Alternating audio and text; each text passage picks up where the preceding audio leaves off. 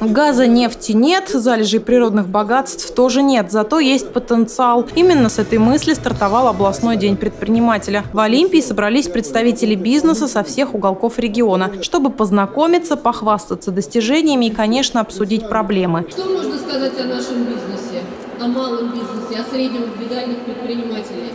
За последний год мы приросли по количеству на 5%. И на сегодняшний день на территории региона трудится более 43 тысяч э, представителей малого и среднего предпринимательства.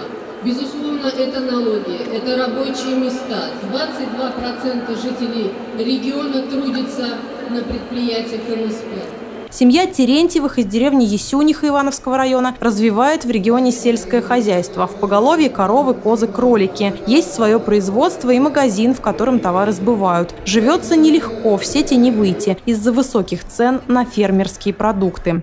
Определенно ценник получается выше, это понятно из-за того, что все-таки корма дорогие, мы от, от всего зависим, от кормов и от горючего, потому что мы же сами же и сажаем эти корма.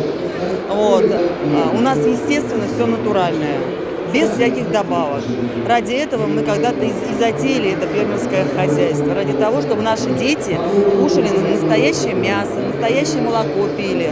И э, мы можем этим похвалиться.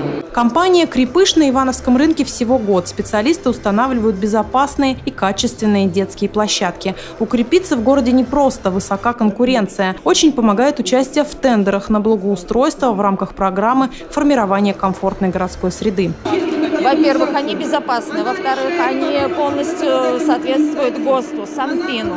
А, то есть это травма безопасная. Это все, все для детей, да. Ежегодно в выставке принимают участие более 100 компаний. Поток гостей растет из года в год. За день здесь проходит до 5000 посетителей. Здесь можно попробовать продукцию, поучаствовать в мастер-классах. Мария Смирнова, Антон Осипов, РТВ Иванова.